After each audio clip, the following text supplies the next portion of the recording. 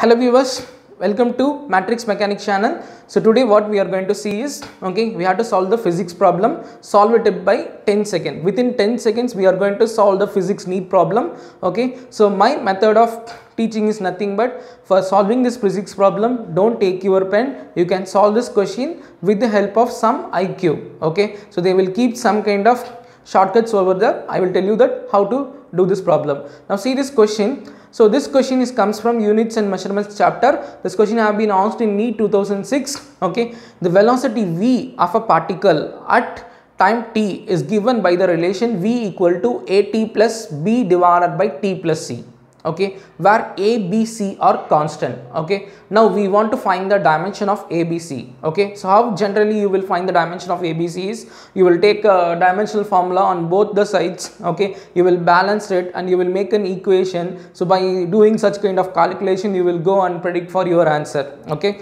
So don't see that you uh, don't require such kind of technique over here. Just a common sense is needed. Now see this what is that common sense now will you add 2 kilogram with 2 kilogram? Yes or no? Right we can add 2 kilogram with 2 kilogram. Will you add 2 kilogram with 2 second? Will you add kilogram with second? It is possible or not it is completely not possible. Okay? Now see this relation. So in this relation okay here at is there here b divided by t plus c is there. If i want to add c with okay this time okay if i want to add the c with the time then definitely she should have the unit of time. Okay? Now check for that option.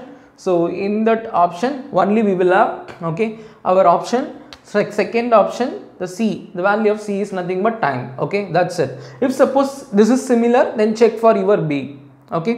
So have you understood how to solve the problem by 10 second right? Okay so kindly subscribe this for more questions related to this okay? Thank you